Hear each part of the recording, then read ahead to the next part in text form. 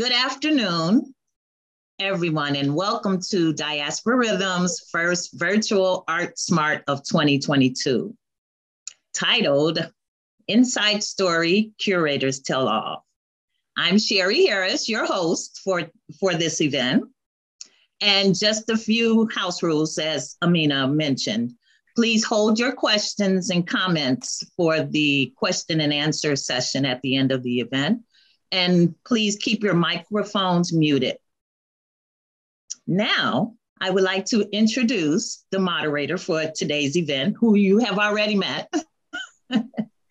she is the founder and president of Dickerson Global Advisors, LLC, and as a professional coach and strategist to emerging leaders, the um, philanthropic community and nonprofit organizations her consulting practice focuses on leadership, advancement, cultural planning, nonprofit development, and strategic partnerships.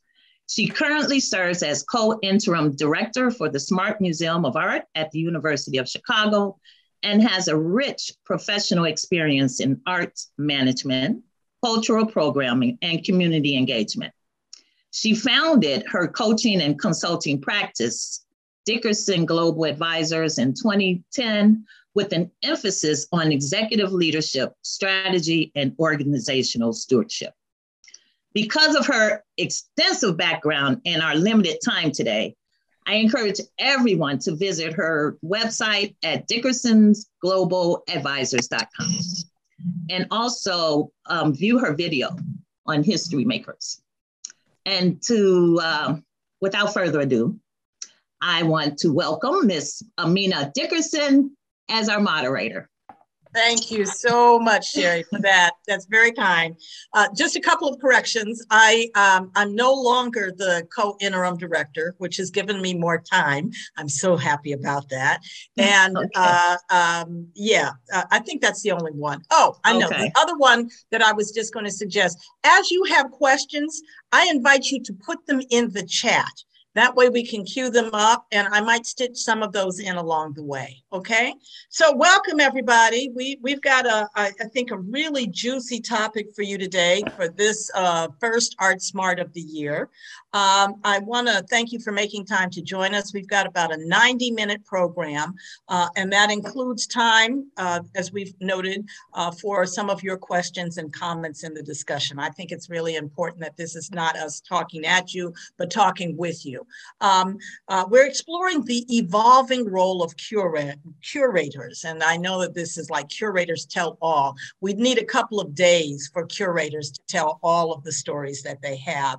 Um, but we did want to explore, you know, what does it take to be a curator? What is the training that is needed? What what pathways have led people uh, to uh, the work that they are doing now? What is the influence that curators have in cultural spaces?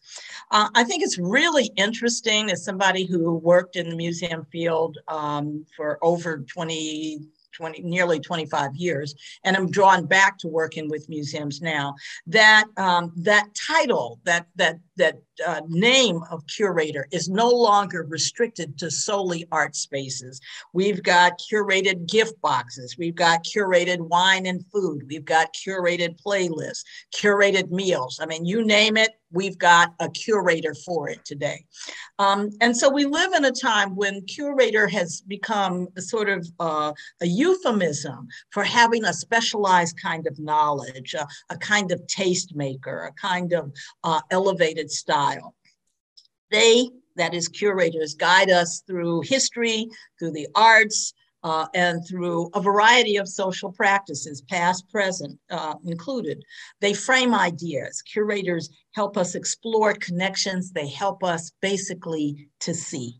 And so to be a curator in an earlier era, uh, certainly when I joined the field in uh, the 1970s, so I'm dating myself a little bit here, mm-hmm. uh, and even before me, um, there was uh, there were very few African Americans working in the field. Uh, you know, outside of culturally specific institutions um, uh, that date back to the mid 19th century, late 19th century, to be a part of uh, a museum as a Black curator was to be a part and a part.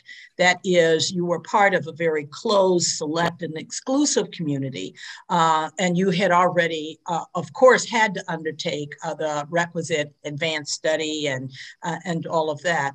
But um, as uh, African American curators, as other BIPOC curators, uh, they faced a lot of discrimination. They were denied opportunities for their creative and intellectual exploration.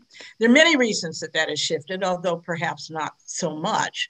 There's an article uh, in ArtNet this week about how, after uh, hiring so many Black uh, uh women for top jobs in the museum field, uh, so many of them are already leaving.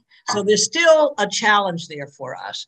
Um, uh, in addition to the sort of broadening space for curators to do their work. They're not just in museums, they're in galleries, they're in community spaces, they're in auction houses. Uh, and so I want to have, uh, with this wonderful panel today, the opportunity to understand what led to that kind of disruption and that broadening of the use of uh, the sort of curatorial lens on things.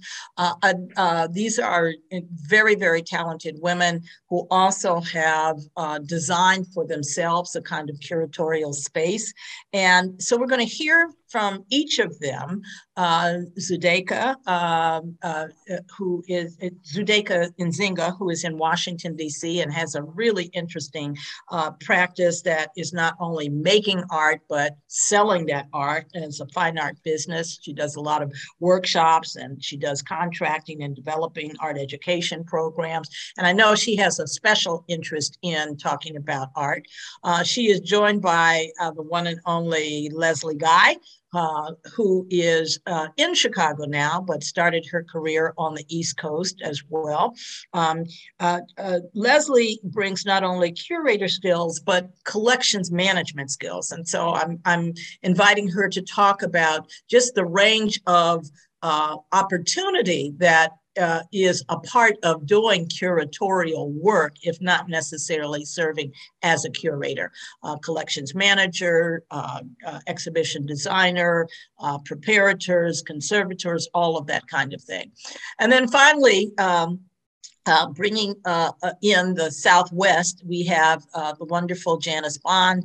Uh, Janice used to be in Chicago, and that's where I got to know her. But Janice has also designed for herself a really wonderful and unique career as a cultural architect again, um, uh, how are we using those terms, an art advisor, and also an interdisciplinary um, uh, artist. So what's going to happen is each of them is going to have five minutes to talk a little bit about their training, their views about curatorial work. Uh, they each have selected uh, some artworks that they will talk about. They will have five minutes. And uh, artists, I remind you, you have five minutes. And Amina will burst in at uh, one minute before just to say one minute, or I'll just do my finger. You've got one more minute, and we're going to ask you to wrap it up. And then we're going to have a conversation together. Jump in uh, in the chat with a question, and as appropriate, I'll stitch it in there, or we are reserving some time at the end. Okay. Uh, I do want to just take one minute to recognize Dan Parker, who is on the call today, who is the founder of Diasporal uh, Rhythms and uh, one of the people who is a mastermind uh, to together with other members of the organization uh, with this series today. So Dan, great to see you here. Uh, our order of speaking for the artists is going to be first uh, Zsudayka, uh, from uh, Washington, D.C., uh, dialing in from, from D.C. Uh, and then we will go to Leslie Guy and we'll wind up with Janice uh, Bond. Okay, so without further ado, uh, it's 117 and Zsudayka, we are delighted to have you share with us a little bit of your background and your artwork. So welcome, welcome, welcome. The floor is yours.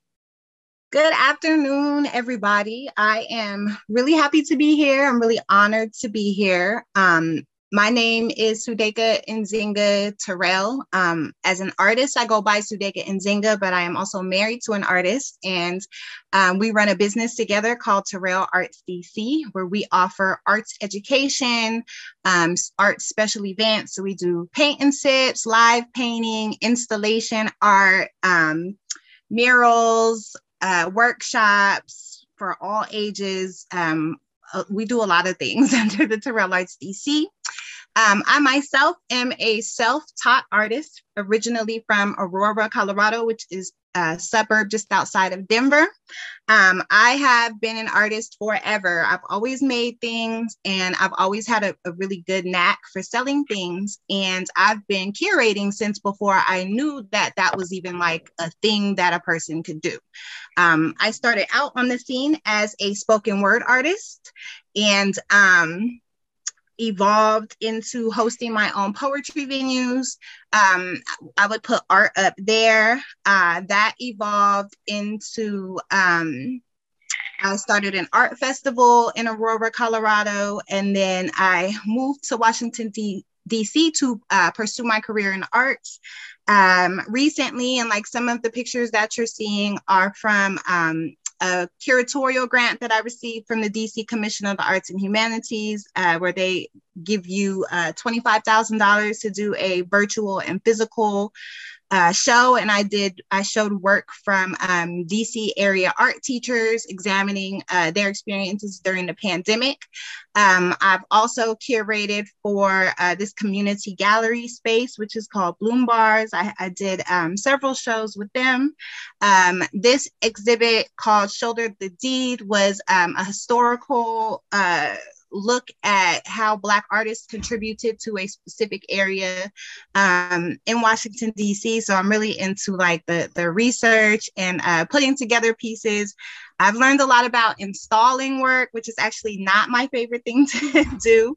Um, I, I, curated and installed several of my husband's shows as well. And so um, I don't, I don't, I think that's about it. Uh, well, you know, I'm a painter. I didn't send any images of my artwork, but I am a, a painter and I, you can see a bunch of, I'm in the studio right now. So there's a bunch of artwork behind me, but I specialize in um, mixed media, collage and acrylic work. Um, featuring images of uh, it used to be more exclusively black women but it's evolved over the last few years to um, conversations around black family and um, how we create our spaces i'm getting ready to start building an installation examining black culture and um, interior design for the national liberty museum in philadelphia um, and then I have a bunch of solos coming up that um, are called the mini rooms, which uh, focus on how we create our sacred spaces. Well, and on top of all of that, she is a mom of three. So I don't know when she sleeps, but uh, it's pretty, pretty remarkable. Thank you, uh, Zsudayka. Uh, and so let's turn our attention now to Leslie Guy. And Leslie, I invite you to talk a little bit about your background and your work and practice. So Leslie, the floor is yours. I'm going to try and ah, unmute myself. Good afternoon, everyone. I think the easiest way to sum up what I've done is to do it in two stories. So I have my background is as actually, as Amina said, started as a conservator, where I happened to be um, the first Black woman in the country to get a degree in art conservation, um, which is part of a longer story. And that led me to doing I'm going to start off in two stories because that's the only thing that will make my story make any sense. So um, I'm from Philadelphia, as Amina said, and I got my first museum experience coming from the sciences. I loved art, but my parents told me in high school that it, I would never make a living doing it. So I had to do science. So that's what I did.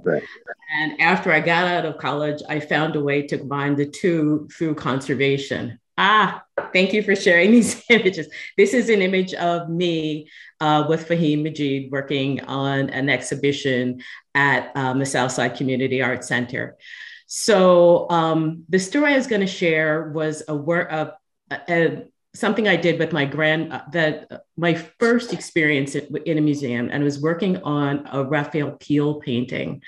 And um, that particular painting was of an archaeological conservation that across time and tides, everybody everywhere made things of beauty. And that really intrigued me because there was beauty around us everywhere in all things. It could be a monumental piece of Egyptian work that I worked on or a small carved bone. And with each and every one of these pieces, tied a meaning and a story. And that became really, really clear to me when I had an opportunity to go and do a work in Hawaii. And I was in a lab. I was working on a, a sacred religious piece called a feather kahili. And I was by myself in a lab. And every day I noticed this like little yellow lizard would be walking by. And I thought, this is really odd. I'm working on this kahili. There's this lizard. So everybody was gone from the lab. And I said to, uh, to a, a young, older gentleman who's like the age of my grandfather, and I said, you know, there's a lizard in the lab. And every time I'm working on the kahili, the lizard's there. And he pulled me, so he reminded me of my grandfather. He pulled me by my coattail and he said, Do you know what you're doing?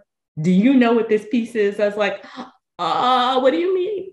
And then he schooled me on the significance of this piece and this work and told me the story about it mm-hmm. and introduced me to other people who taught me more about the Hawaiian culture and the, their sacred art and what it meant for them to have their sacred art in white spaces.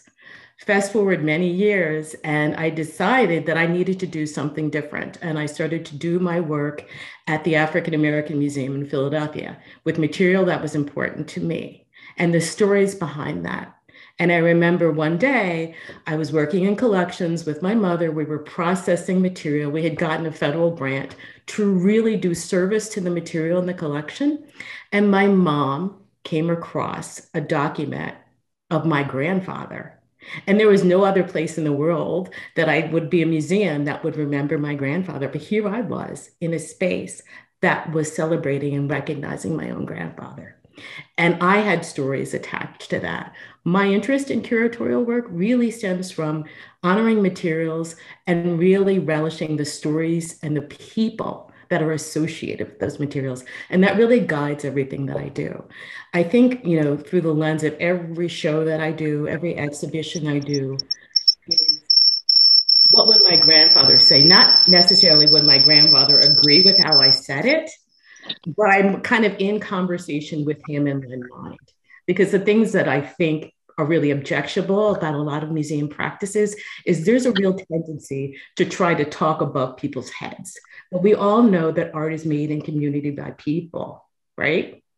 Those stories are held in community. So it, I find it objectionable when it goes into a white box and then people use these multisyllabic words that nobody uses in real life to try and tell different stories. So that's kind of what guides my work. So I, I think I might have been gone past my time, Tony. So we can show the slides quickly in a way that might make sense to people. And I can give it a quick one, two over if you want to.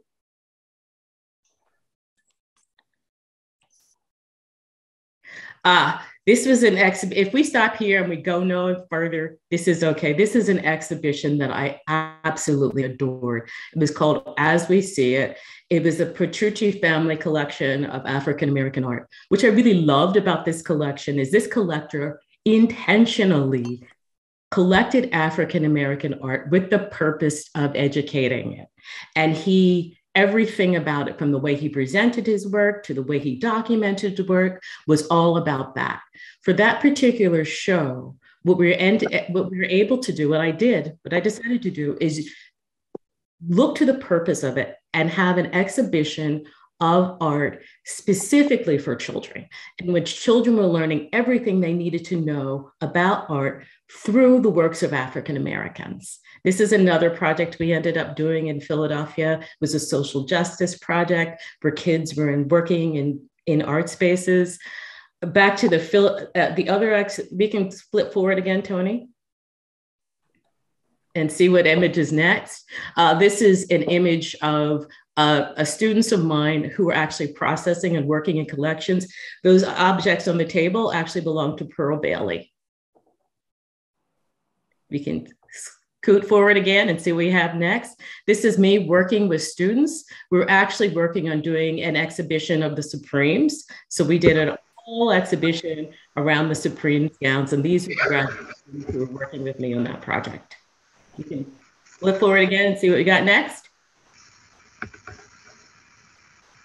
And this is me with Faheem uh, working on, um, and, and, this is a project that I was done with the uh, Floating Museum here in Chicago. This was done at, at the DuSable. A wonderful exhibition, and these are community members who are making response pieces, and they're all in display within the museum itself. That was a great show. Wonderful, wonderful, Leslie. Thank you so much. Um, I, am just seeing a thread uh, that is beginning here that is talking about access. I heard that in Zsudayka's uh, commentary about putting uh, the exhibitions together for artists, with artists, and presenting them in community. And you've really, I think, uh, identified something very important about how you're showing up as a, somebody working in curatorial space, the kinds of materials that you prefer to work with, and the engagement of younger people and younger audiences, and really understanding uh, the value of the real thing and how it needs to be preserved. So we're going to come back to that point in just a minute, but really great. And I have to say that Leslie and I also share a little background because I also worked at the Philadelphia Afri- African American Historical and Cultural Museum of Philadelphia before I came. Chicago. So lots of stories we share there. Okay, I'm going to ask people one more time. I put it in the chat. Please, if you are not a speaker, please, please mute yourself. Thank you.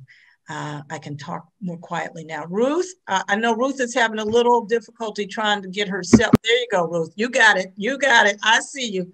Uh, mm-hmm. okay, so our last curator today, uh, or cultural architect, art advisor, interdisciplinary artist, is someone who I had the great pleasure of working with uh, when we were doing a cultural plan for the city of Chicago, and then again at Navy Pier. And that is one uh, Janice Bond. So Janice, I want to bring you into the conversation conversation and ask you to share a little bit about what has been a very, very diverse background, what made you leave Chicago for Texas, and the kind of work that you're doing now. So, Janice, the floor is yours.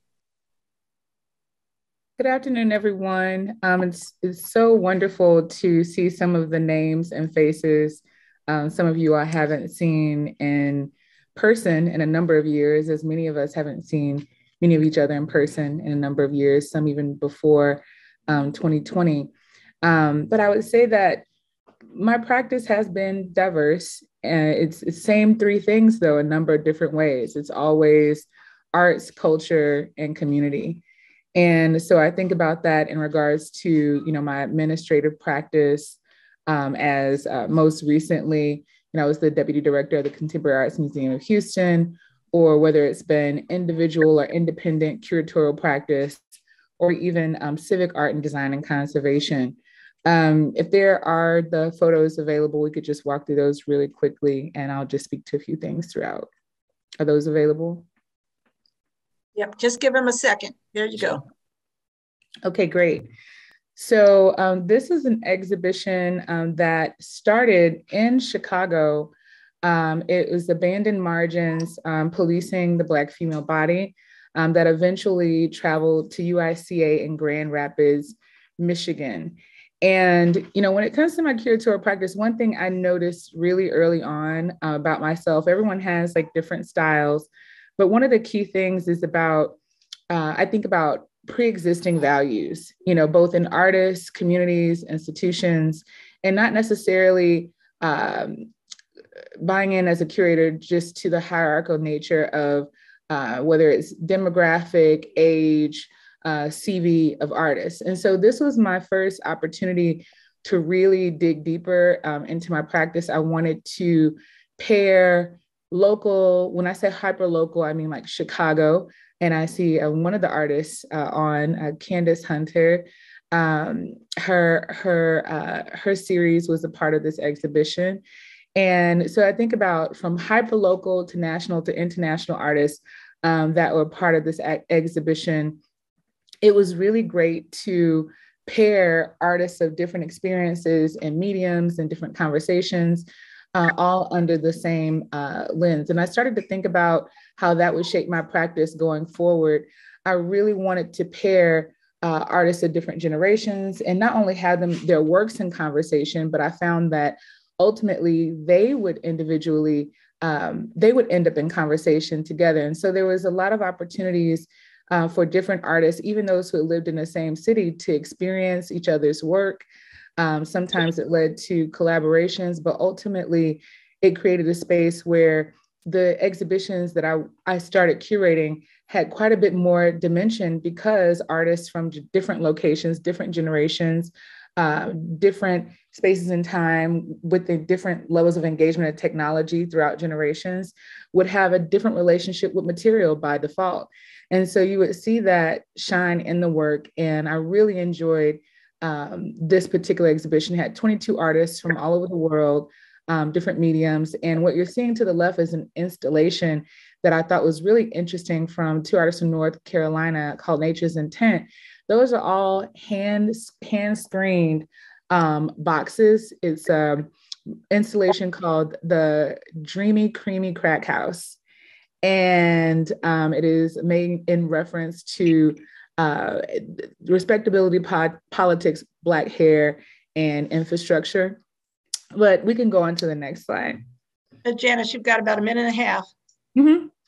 Yeah, let's just pass through. Essentially, the, the entire thing is that when I think about my curatorial practice and I think about where things are going um, for myself and others, it's really just about not so much being caught up in the where or the how um, or even the what, but is who you're connecting with and who's connecting with the work um, that you're pulling together, that the artists are creating, that you're preserving, conserving, and what you're sharing with the world. And so right now I'm spending a lot of time um, managing um, collections and, and civic art and design, project managing those both in aviation, um, transportation, etc. And this final slide, which I'm very proud of, is that I'm currently the co-curator um, for artist Ming Smith's, if you could go back one, Ming Smith's um, first um, museum full survey exhibition alongside um, James Bartlett um, that will open at the Contemporary Arts Museum of Houston and then tour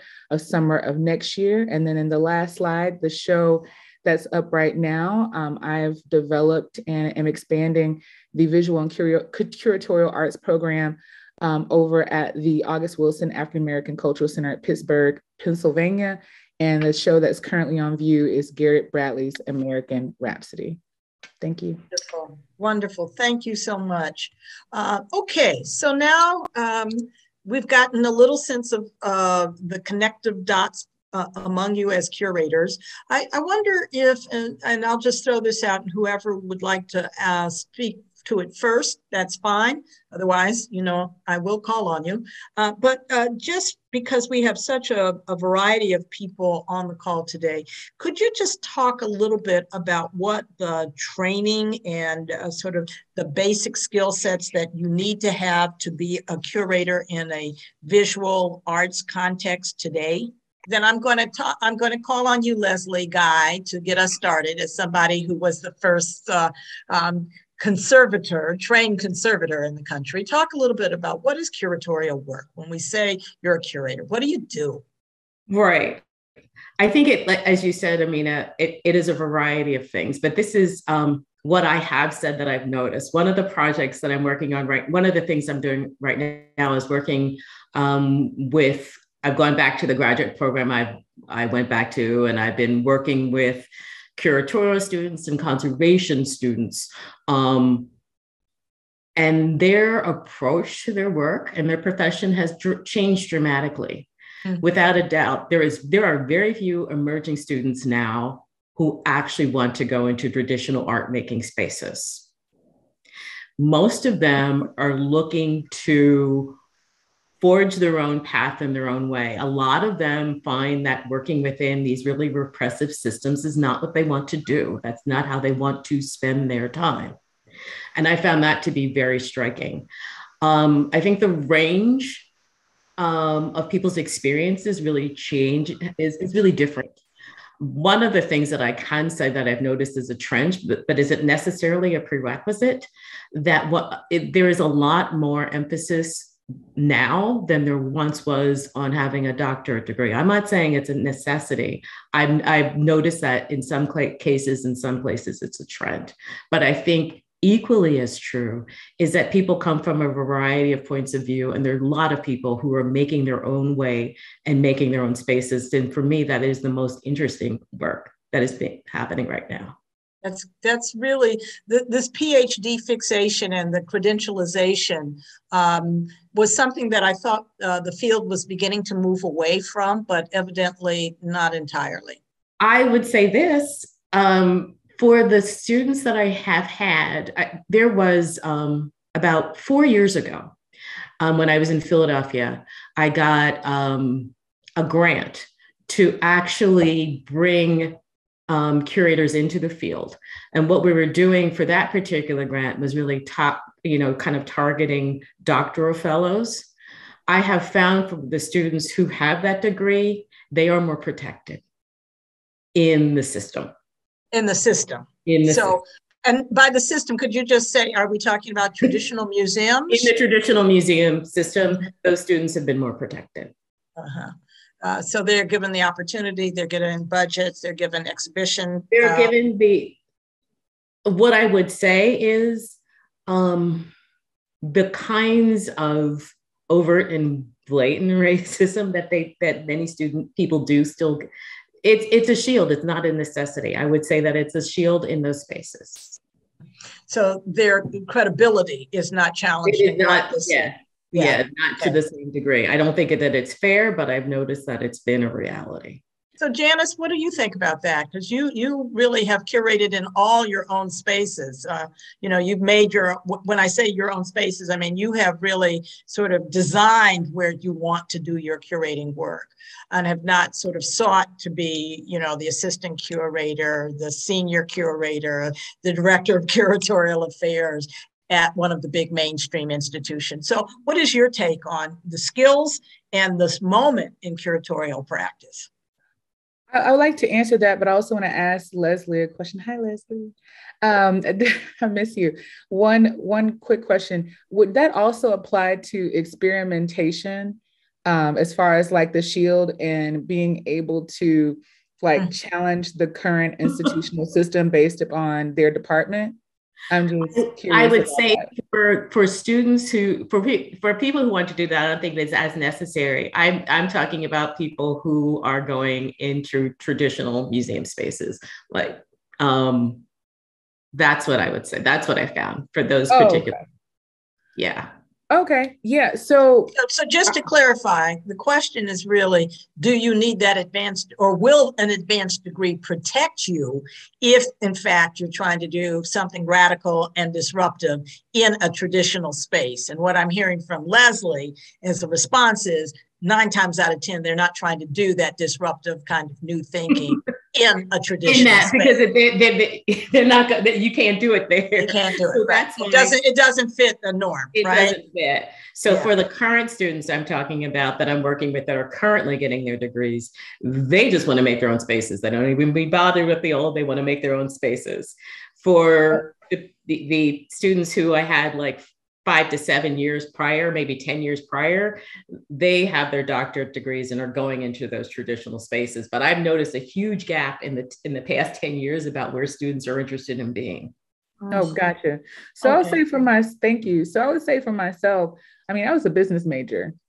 Um, I, a lot of people don't know this, I suppose, don't talk about it too much, but I was a business and, and communications major major. So I always saw art from um, although I, I, felt the like passion and connection, I could see things as a creative, as an artist. Very early on, I didn't see curatorial or even anything in the art world being a true career path um, or a possibility. I didn't know what a curator was until I was probably my junior year in college. Um, so, you know, being very transparent about it. So, I had been surrounded though around by creative people and wonderful budding um, and or larger historical institutions. I grew up going to Project Row houses in Houston, you know, amongst other spaces and, you know, the Community Arts Collective and, and things like that. So I grew up in these, these spaces and I, as I grew and started to even develop or even had the courage to consider myself or call myself aloud um, an artist and a curator, I really I suppose because of my my background just in community or the way I grew up, I didn't grow up in a, an arts home. Um, although my parents did allow me to experience those things through relatives or field trips. I remember going to Jones Hall as a small child and seeing the symphony. Um, I just really immediately, unintentionally bypassed the system when it came to the consideration of whether or not I wanted to do a thing. Um, because I didn't, I didn't have the first inkling of where that pipeline even opened. I didn't know any curators. I didn't know anyone who worked in a museum. My first, uh, and I'll shorten this, my first engagement, just to put it this way, at of the Contemporary Arts Museum of Houston, uh, when I was 10 years old, uh, I want where I later became, decades later, became the deputy director. When I was 10 years old was the first time I visited that museum. I visited that museum because my grandmother was a domestic in the neighborhood that the museum was in. And while she was working in homes, I would wander into the museums in the museum district to be out of the way. But I didn't see it as a place where I could actually do anything or be anything. These were almost like these edifices of, of inequality that I just learned to live with and be enamored by.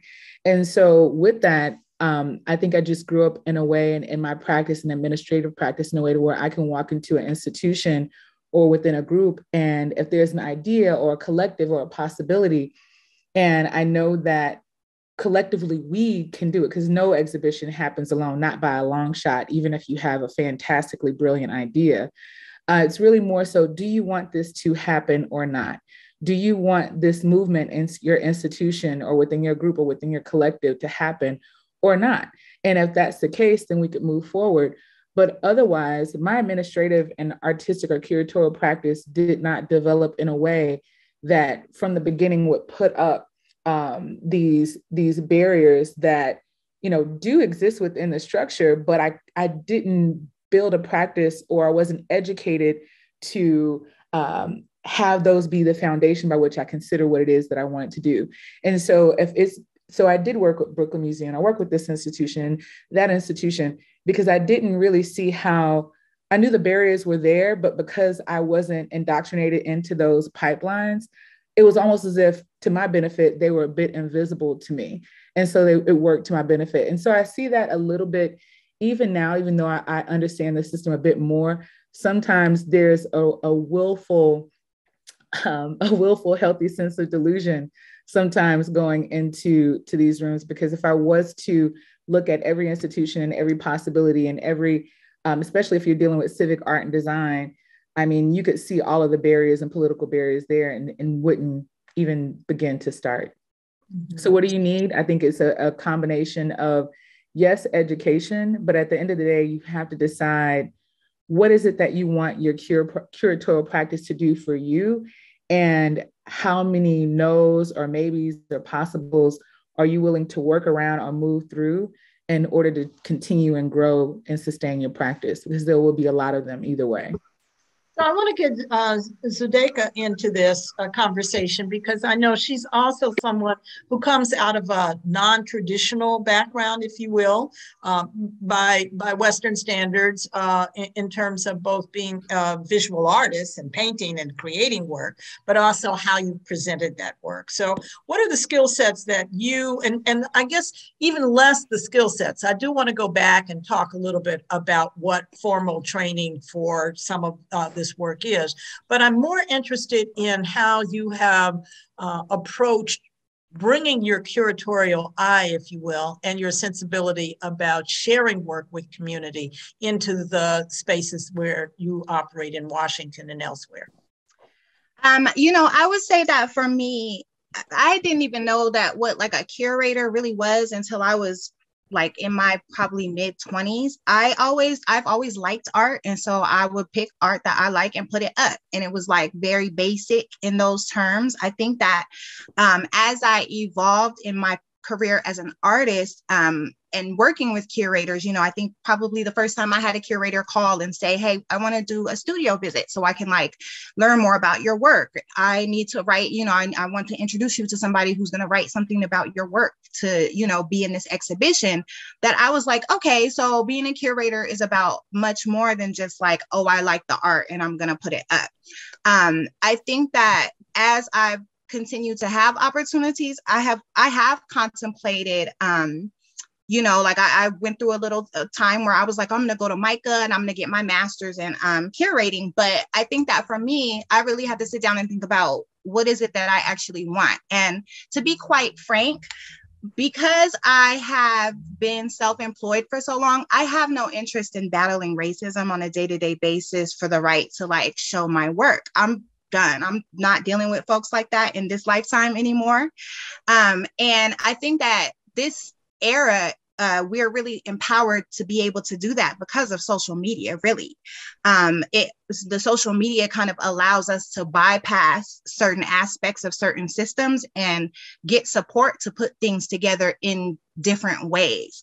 Um, i also have found that as a black identified curator in the last several years um, as these institutions start to get called out for um, their lack of uh, opportunities that they give to people who look like us or whose backgrounds are, are similar to ours, it has started to open up a lot of avenues to kind of get into some institutional spaces that would never have contemplated having somebody like me come in um, and curate a show.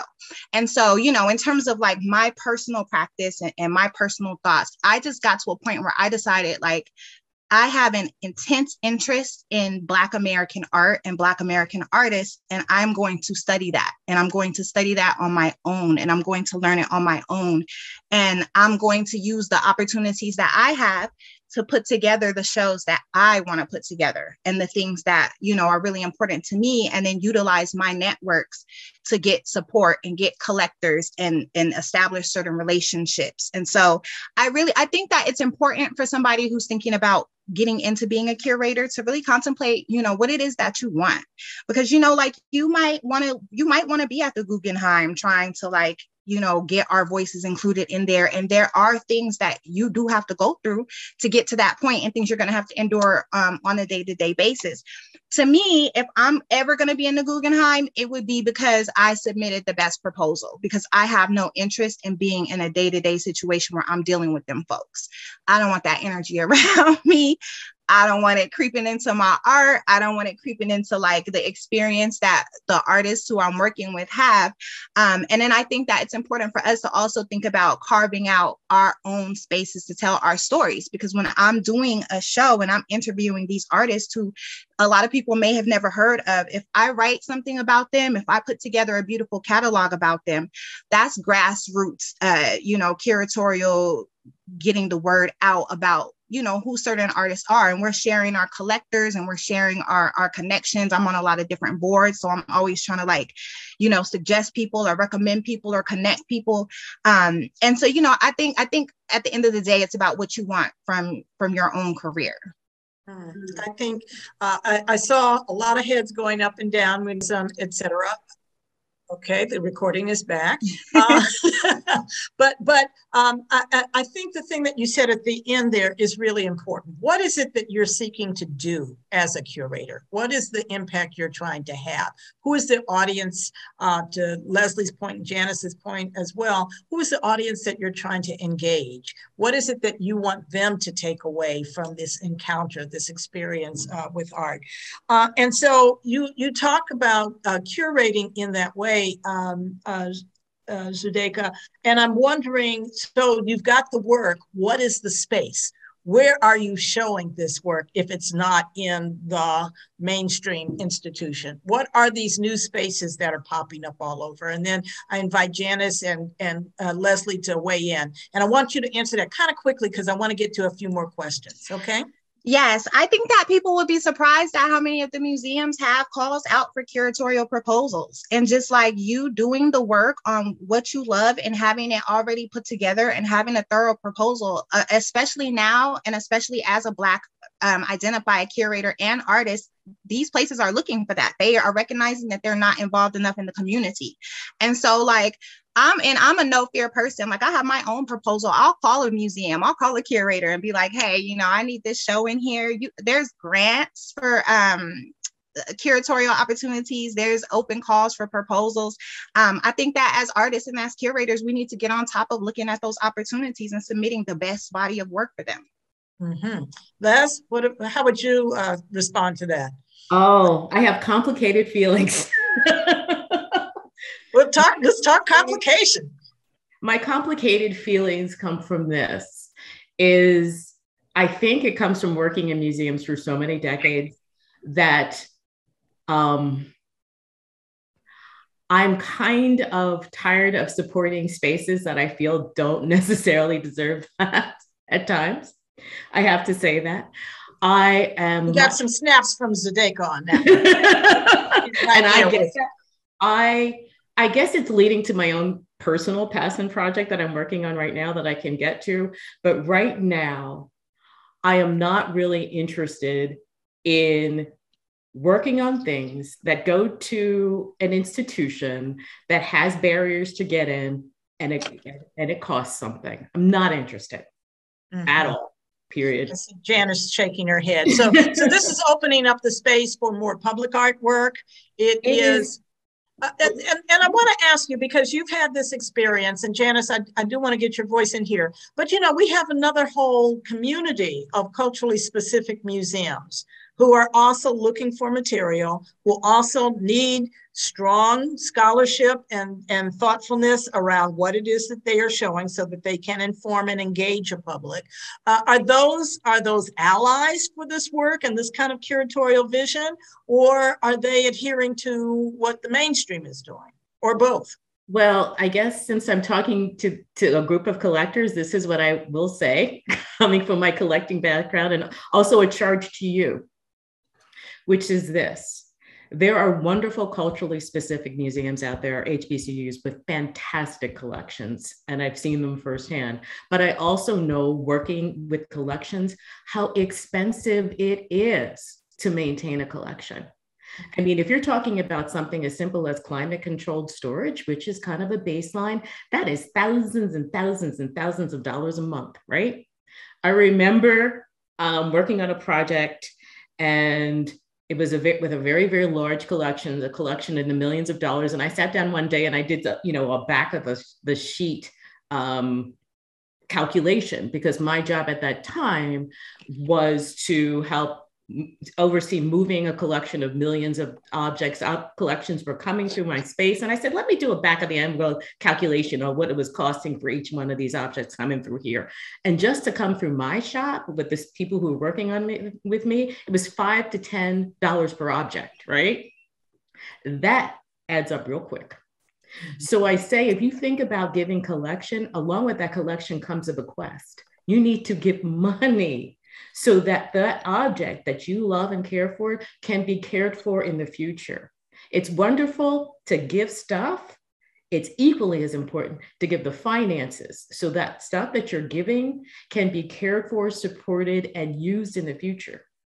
So that's my collection side to the collector saying, yeah, it's equally as important. Okay, and, and to culturally specific museums, uh, I mean, having worked in them and studied them, they very often do not have those resources. Right now, we're looking at Southside Community Arts Center and uh, know the extraordinarily important uh, role it plays in African American art history, in Chicago's uh, cultural scene, and the millions of dollars it's going to cost to finally, in the 21st century, provide for that institution the kind of HVAC, the, the heating, cooling, air. Uh, Absolutely. I mean, we're talking about databases. We're talking about people who destabilize it. We're talking about people on staff with expertise in those areas to care for those collections. That is. Some, uh, uh, there was a question in here uh, that I just want to raise because that is exactly what they wanted to know. And then we're going to go on to another question. Uh, how, how would um, uh, someone who a, a, black artist who aspires to be recognized uh, successful uh, as an artist or curator properly navigate um, the systems. Now they're talking very much about mainstream systems here but they they ask what are the credentials that are needed how do you what what exactly are those credentials? And uh, you know it seems that the three of you have uh, well two of you at least have not gone through that formal training for a curatorial credential. But uh, you know we're talking what art uh, at least some knowledge some art historical background. You know janice you're you're mounting shows. Zsudayka you're you're writing labels. What kind of skill sets for somebody who says i want to do that. I'm not sure yet if I want to do it in uh, the established system or outside of that, but I need to have a grounding. This is a senior in high school about to go off to college. What would you tell them they need to study? Um, so okay, I I I, I guess I, I I'm thinking about that in part because right now one of the things I'm doing is reading essays from college students who are tr- trying to apply to different fellowship programs um, and people are coming from all over. Um, and I hesitate, but I say the traditional, a, a path that students are taking, the students that I'm currently with, working with are taking, is they are really focusing in on whatever particular area of study they're interested in, whether it is 19th century art, whatever it is, whatever it is. And lots of them are getting MFAs, some of them are getting PhDs. It's absolutely right. But the reality is dovetailing back. One of their current professors said to me about this current group of students, dovetailing back to what Janice and Zsudayka said, which was really important. This current group of students are very entrepreneurial. They might be getting that PhD, but they a lot of them some of them have their own curatorial practices before they get to school that they are not giving up that's not something that would have happened when I was in school, right? They are not giving up who they are. They're not giving up their own practices just because they're getting that degree. So I can say, yeah, you can get that degree. But at the end of the day, Janice is right. You need to know how to get stuff done, especially now. Especially- okay, so Key Key is asking a question. I'll put this to you, Janice. Um, um, is there a way around all of that credentialization to get to do the work as an artist? I'm just going to give a broad stroke on this because, you know, just sort of thinking of a couple of things that we've been discussing and then landing on this. It's not the either or, it's a, a both, a both and. The reality is, is that although I was a, a business major, studied and all of that, um, at the time when I realized that I wanted to go into the art world as a curator or an administrator, I didn't have the fiscal resources to go to the school that I wanted to, you know, even if I wanted to, you know, even if even if I tried um, those resources just weren't there. Um, and, you know, so it's one of those things where I found myself in the spot where I was like, okay, well, do I wait, you know, a few more years until I'm able to save and do this? Or do I take out more loans? Or what are the choices? So, what am I saying? What I'm saying is that you have to at some point decide what you want your career to do for you and kind of be if, if that's selfish then that's what it is. Think about it as an artist as a curator as an administrator and it will it will evolve over time. I think about someone who is as tenured educating experience as, as you leslie. Like you you are talking about you know we're talking about your history but now you have with all of this experience you're reshaping and have refined that into the next core path. It's even more streamlined and focused and specific and i found myself you know years later in that same space and so understand that different institutions, even different curators, even if they look like you, they may look like you, but they're, every institution ha- may not have the same interest and or agenda when it comes to engagement, um, exhibitions, the way that they engage their board, and all of those things. And you will have no way as an incoming artist or a curator to know the full landscape of all of that mm-hmm. um, and until you're in it. And so, really, what you have to do is decide what it is, who you want to work with, or even where you want to show. Start to build a general framework, either as an artist or as a curator or both or administrator. I remember someone told me once if I pursued a career as both a curator and an artist simultaneously, I was literally told by um, an administrator I respected at the time that no one would ever take me seriously. And I remember literally looking, and I had two choices in that moment, keeping a straight face. I was like, wow, I respected you so much. you know, I believed you so much up until this point. Because the hmm. other side of that was that I could have believed that and had to make a decision between my practice. And a month later, that's when I opened both uh, Beyond the Binary, my solo show, and Abandoned Margins, Policing the Black Female Body the same night in the same institution on different floors. And so I say all that to say, don't wait for someone to validate the pathway that you want to choose as an artist. It's way too complex and ephemeral. And from institution to institution, and even the people within the institution, it is just a web of decisions, politics, and things. You will spend your whole career trying to figure it out, and then it'll still change.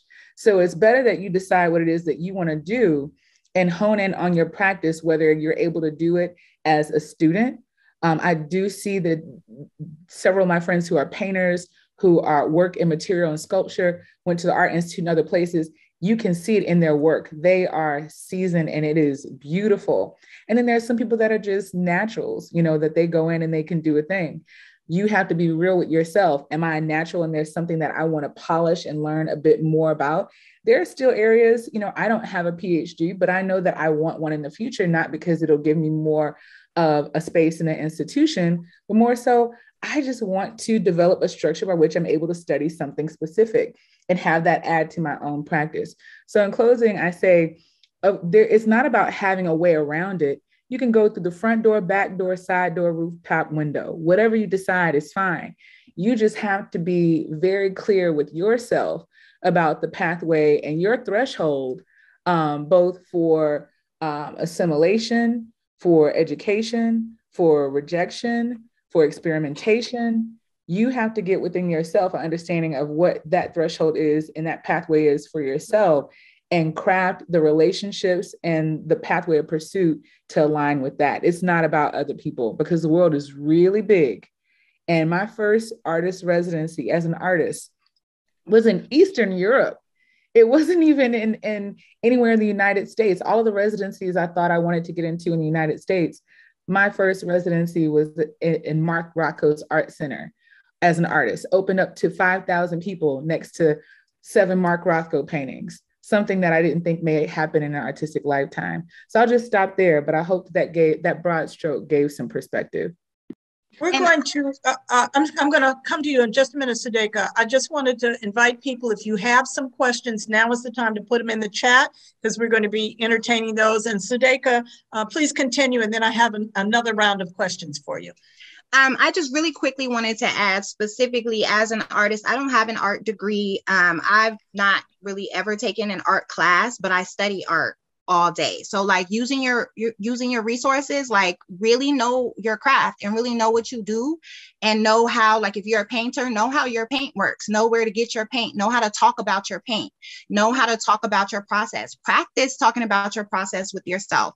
I think that the the there's two things for me that have really opened a lot of doors. One is is knowing how to write a proposal. Knowing how to write a strong proposal and a strong grant is everything. And like literally, I took one proposal and I applied, I got denied. Call them back and ask them why. Ask them to give you some feedback and then apply the feedback to that same proposal and send it someplace else and send it another place until somebody tells you yes. But every time somebody tells you no, ask them if they can give you some feedback as to why, because you learn so much about what different institutions and what different curators are looking for. Also, knowing that like the curators are working off of their own tastes. So when you're applying for something or where you're trying to get in a show, if it's a judge or a jury or a certain curator, look them up. If they're not curating in your work aesthetic, that might not be the best place for you to be applying. That might not be the best um, call for art for you to apply for. So, like paying attention to those things and then lastly, um, I say I make probably 95% of my income off of Instagram because I am posting what I'm doing, posting what I'm working on, uh, so people get to see it. And then, you know, I'm meeting curators on there and um, LinkedIn. LinkedIn, if you want to get at a specific museum, go to their website, write the curators' names down, and go follow them on LinkedIn and be posting your content and getting your stuff out there because curators and galleries are looking for artists too. They're actively kind of out there keeping an eye out for like who's doing what and who's got what going on. And so you want to be able to like give the best presentation of yourself and what you have going on these opportunities will come to you if you're working constantly on your craft. I love what you just said about um, the discipline of continued learning and self development. I think there's this idea that you do the work or you go through school, you get it, and then you're there, you're done, you're finished, you're complete. And both uh, Janice and, and Zsudayka have both talked about the importance of personal research, of continued learning, of study, of conversation. You know, you can learn in lots of different ways of, of being out, uh, going to other people's shows, seeing how those are interpreted. And I love, you know, for somebody old like me, this idea that you're selling most of your work on Instagram is really a, a delightful thing to hear. And LinkedIn, uh, Janice uh, is, uh, you know, doing a, a plus one on the idea that LinkedIn is a tool for research as well. I want to shift us for just a minute uh, as we are, we've got about 10 more minutes and then uh, we're going to do a, a, sort of lightning round to, to, to begin the wrap up. Um, in my uh, conversations with you in advance, all of you have talked about the importance of educating the next generation or the young people coming on. There's a question from someone here about, you know, like what are the pipelines for young people into careers in the arts, in the visual arts, uh, whether it's on the curatorial side or as a practicing artist uh, working through a gallery or, or uh, another kind of format. So I'd love to ask you, what is it when you were curating a show or working with our artists that you want the audience coming to get from that? You know, like what is the connection, the, the linkage that you'd like your work to the audiences that come to see a show?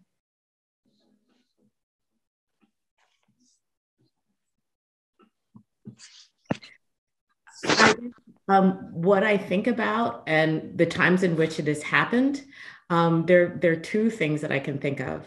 I remember putting up a show in in Philadelphia. Um, this young artist put up a painting. You know, I, I really I didn't like this painting at all, and I was just you know I was not I was on the fence about it.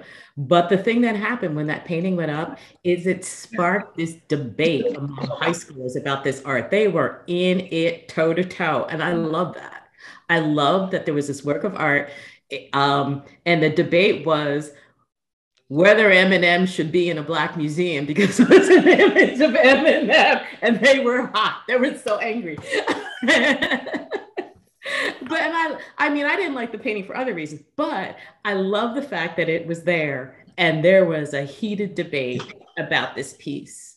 So for me, anytime anything that I do can engage people in conversation. There was a, another work show that I did with a work of an artist called Colin Quashie, and he had this really provocative piece called Plantation Monopoly, um, which is brilliant and troublesome and problematic for all kinds of reasons. But my son and his friend sat there, they were in high school, and they're and they looked at my son, said, This is funny, but this hurts. And I was like, okay this got across. So it's like when these conversations happen and these connections happen, that that's what means the most to me. Zsudayka, you were talking about young people not thinking about careers in the arts because they're not encouraged early enough. You want to say a little bit more about that? Yeah. So, um, in my my curatorial practice is largely about um, exposing and, and educating people to the rich cultural history that we have as Black Americans and the creation of art and the ways that we have put together our own art institutions. Um, and I, I prefer to select work or, or speak from a, a place of empowerment, even when um, tackling rough, rough issues. I'm very uh, particular about how those issues are explored. Um, and uh, how they make us feel. But one of the biggest reasons for that is that growing up, you know, I grew up in Denver, so I wasn't able to go to a museum to see a lot of Black art. Like my parents and my uh, my community really had to be the people that were exposing me to um, arts and specifically Black arts.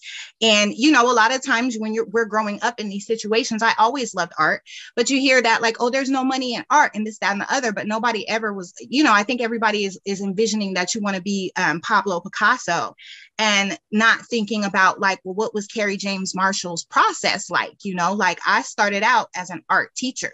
Um, I started out doing other things in the arts. Uh, the Smithsonian's here, the people that are the, the guards at the Smithsonian's, that is a degreed position. These are people who studied arts history, who have a, a, a love for, for the, the arts in different ways. And so um, I think that creating opportunities to expose people and particularly young people to the various things that you can do in the arts uh, either alongside your own personal art practice or as you know whatever your interest is. You may not be somebody who wants to paint or draw but may have a love of history and that there is a career for, in that for you. And i think that you know when we're putting together these exhibitions and we're inviting the community at large to engage it's very important to target communities that aren't often targeted to get to come to the museums and get to have these conversations or come to the galleries or the pop-up space or wherever it whatever it is that you're having. And so you know that that's a big uh, political thing for me is making sure that i'm creating things that are accessible to a community that may not have been previously encouraged to pursue the art and then giving them some language and some opportunities through their experience at the art exhibition to contemplate like what career path maybe they want to go in the arts mm-hmm. janice so that answers um, has shifted over time, but I'll say where I've, I've landed at, this moment. It's always been about bringing, uncovering, unearthing, and sharing um, stories, narratives. Even if it's a, a, singular exhibition, there are so many journeys and stories and narratives, um, especially in group exhibitions, that come um, come together um, to make those stories or that the anthology, if you will, complete. Right now, I'm really thinking a lot about uh, increasing the possibility, like the, the imagination around different spaces. Again, with civic art and design, you know, I was on a tour with um, a colleague recently looking at abandoned silos and uh, thinking about how a, a, beautiful mosaic would fit on that space or a large scale, uh, large scale mural or something of that nature. I'm thinking a lot now uh, for future exhibitions of bringing in uh, these these collections that are in the homes. I saw an article re- recently about a, a Black woman um, who's about 90 or so, who's uh, um, it, it hurt to know that her entire collection was going to auction. And we'll never see that work, or most people have never in this world have has never seen that collection. And will never see it in the way that she imagined it or curated or that journey, that that story, that complete story as she's experienced it and curated it will never exist again. And so I started to really think about the artists, you know, these artists um, that are, are 50 plus, um, their home collections, what's in their storage, their drawings, collectors. Like I'm really starting to lean into how, as a curator, I can build trust um, and relationships, or I can go back to relationships and say, okay, I want to bring your collection to the public. I want to bring this artwork that you had in your studio 30 years ago, um, or tell your story at institutions or in homes or in a church or, or wherever it is that makes sense um, for you, and also work with the scholars and individuals um, to create the publications to support that story so that they can be shared in institutions as well as just in the home or in a doctor's office. And so right now I'm hoping that what people or audiences are experiencing from my exhibitions are um, are stories, uh, hope, um, possibilities, and different truths that have existed across generations. Wow, that's beautiful. I am struck um, by uh, Leslie. You want to get a word in? Did yeah, you? I was just going to chime in. Janice, we need to talk. um, because Janice touched on something that I'm currently working on, um, and it's a project called Conduit, and I'm working on it with um, the University of Delaware, working with their preservation students and with their doctoral students to really find a way to document and preserve African American art outside of traditional collecting institutions. This has got nothing to do with what's inside a traditional museum, but it's in recognition, and this is just a fact, it's a stunning one, but it's true, that a hundredth of a percent of collecting institutions, 0.01%, collect African American material, and less than that collects art, which is kind of hard to sit with. When I ask funders on the national level that are giving preservation funding, like, do you have demographic breakdown on that? Nobody does. Nobody does. On a national level, when you think about representation in, inside of collections, that information isn't available right now. They've started to do some work on it in the UK because of how their funding goes. In the United States, we do not know. So, this initiative that I'm beginning to start really looks at this. There is a wealth, and we also have to say, um, when the National Museum started kind of expanding their collection and going out, and they started their initiative called oh. African American Treasures, of course, we all know there's a lot out there. They found it. They can't take it all in, it's impossible. Same thing happened with uh, Brent Leggs, what he's doing with historic preservation. There are all these new initiatives that are realizing what we all know there's all this cultural material out there. So, this initiative is about going into communities, working with communities to preserve these things, not to hoover them up and put them away where no one can see them, but to leave them in place and to drive funding there because the way the model works is it's the big dogs with the money that get the stuff in the collections and they put it in storage where nobody sees it. But it's kind of harnessing community to change that dynamic so work can stay where people can see it.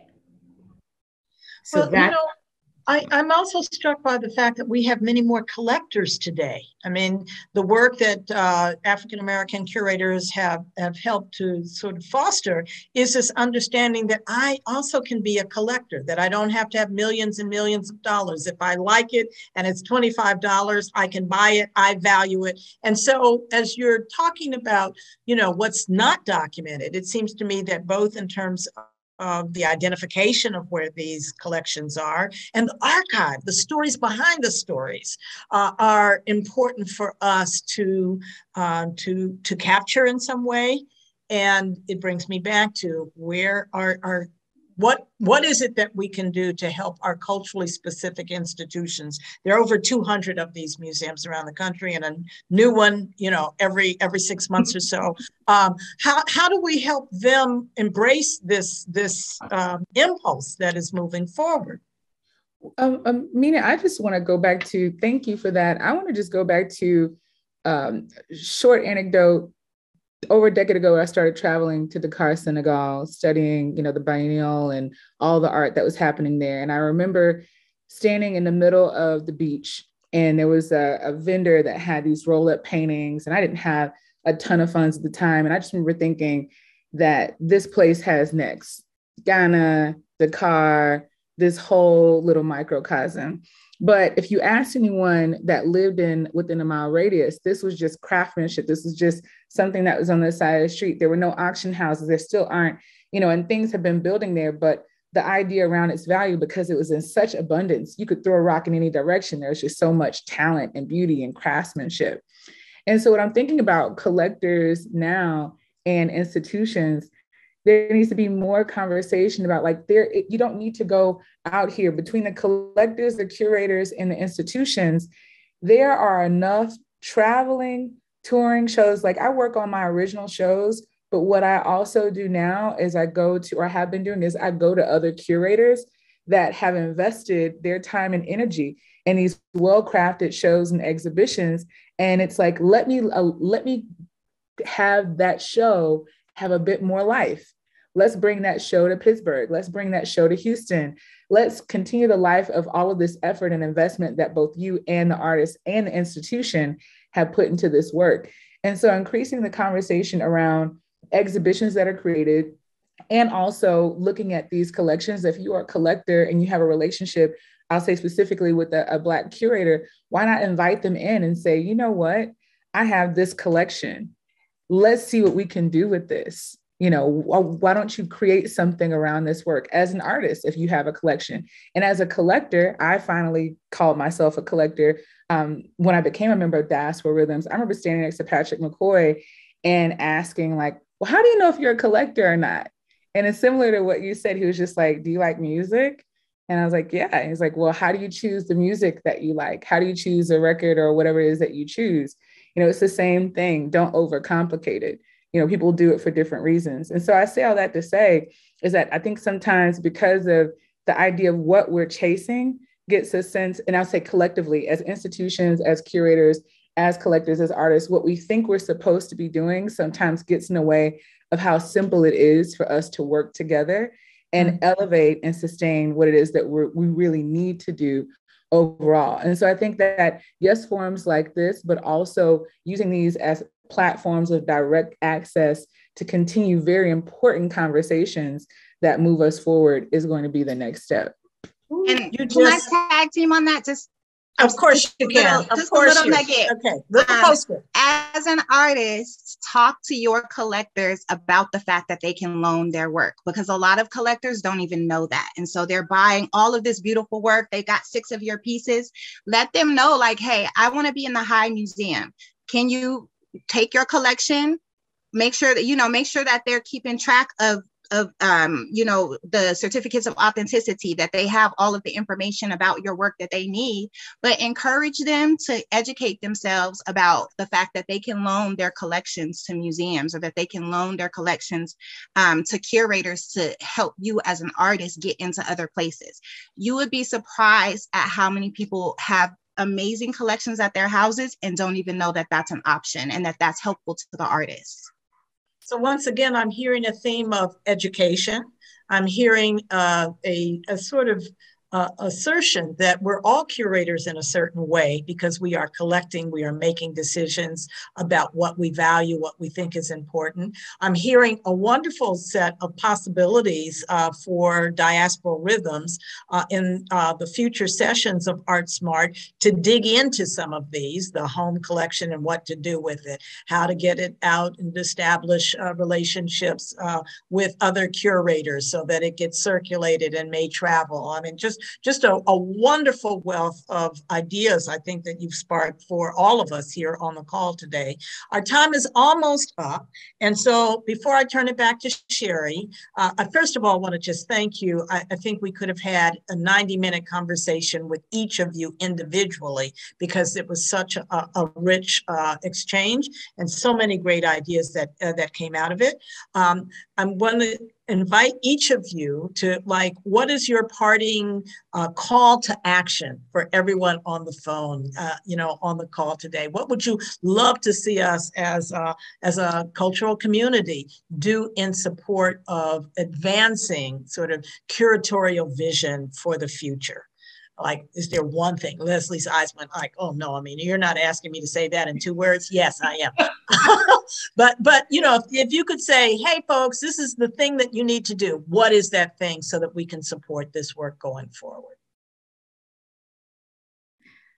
Hmm, that is hard, but I think if there's the one thing that I can think that I can think of right away is there's so many people out there who don't know the abundance and the beauty that is black art. They just don't know and they make the false assumption that just because it's not in a major institution it's either not there or not important.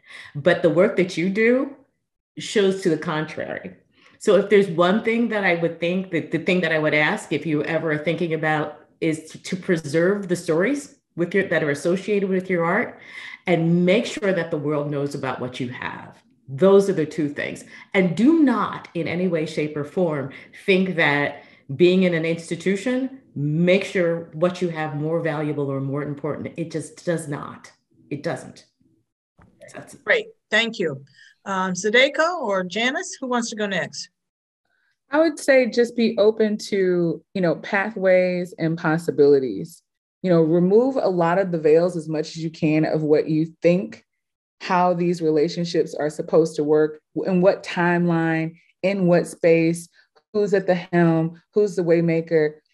If you are moved by a possibility in this conversation, even if you don't have it all fleshed out. That's the thing. You shouldn't because it takes more than any one of us to make anything happen. That's what I love about the art world. Make the call.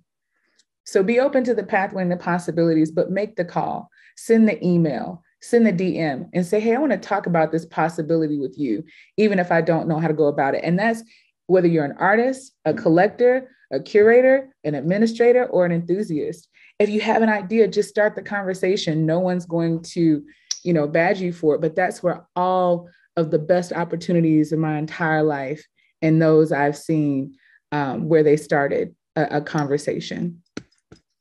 Zsudayka? Um, I would say that every year around um, the first of the year or around my birthday, I sit down and I write two goals. One is what I plan to accomplish in my career for the year and where I see my career in 10 years. And every year I look back on what I said in 10 years. And if there's adjustments that need to be made, I make adjustments. And then what I want to do for the year, I study it. So if that is, I want to um, have a solo. I'm asking artists I know, how did you get a solo? Where's a good place to have a solo? I'm looking for calls for art. Like I'm studying it and I'm preparing myself for it. I'm paying attention to, okay, so this artist is showing their solo and that was work that they were doing from two years ago. So maybe I need to have an older body of work that's sitting and that's the one that I'm shopping out while I'm working on like a current body of work. And just really like talk to other artists and talk to other curators and talk to other people who are doing it and learn from them. Like sit at people's feet and just be quiet sometimes and let them give you what they've got or take you places where you know you might come into contact with people. Opportunities like happen at the craziest of times you know so stay open to that but stay studied up. So when that opportunity pre- presents itself you are you know how to present back. You know there's somebody in the comments who uh, in the chat who is saying that they have opportunities for curators right now. And so like are you ready for that you know if you're an artist or a curator or somebody do you have have you started that proposal yet? Have you started working on that idea? Don't hesitate like start it because boom here's an opportunity well, we we leave this call today with opportunity and certainly with an abundance of inspiration from the three of you. I just want to thank you so much for your time. Before everybody goes, Sherry's going to come back on. I do want to point to um, Cannon Fire Art Gallery saying thank you as an older non-traditional artist, self-taught. You all have re-inspired me. You've given me courage. And Fran Joy says, I have an opportunity for you. You want to curate? You want to get your chops in? Her information information is also in the chat, along with the uh, uh, websites for our extraordinarily talented panel, Leslie Guy, Janice Bond, and Zsudayka and Nzinga Terrell. So with that, I want to say thank you again, and I'm going to turn it back to our host, Sherry, who's going to take us out of this today. And uh, everyone, thank you for the privilege of being able to share this 90 minutes with you. I really appreciated it. Uh, Sherry, the floor is yours. Thank you. Thank you, Amina. That was fabulous.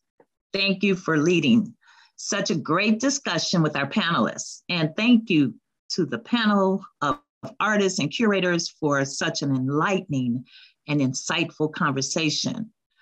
Thank you to all in attendance. And we would like to remind you to please mark your calendars for our next Art Smart event titled The Art of Graffiti. And Dan, would you like to say something?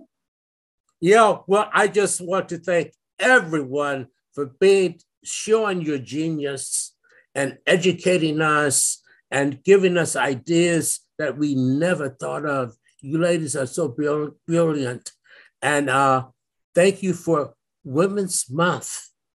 This panel, you you celebrated uh, Ladies Month with such style and grace and brilliance. So thank each each and every one of you. I have to give a shout out to Janice. So good seeing you, lady. And, and thank you so much for what you give. Each of you, thank you so much. And uh, Diasporal Rhythms, thanks you. Thank you. To join, to join as a member or donate to the organization, you can find out, um, visit our website, and that is also in the chat. Thank you, everyone. Have, Have a great, great afternoon. afternoon.